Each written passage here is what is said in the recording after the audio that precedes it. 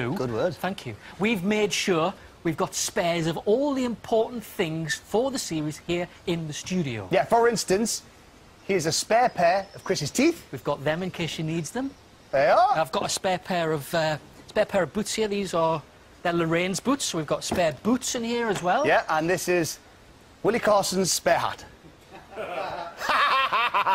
Don't be ridiculous. That is not Willie Carson's spare hat.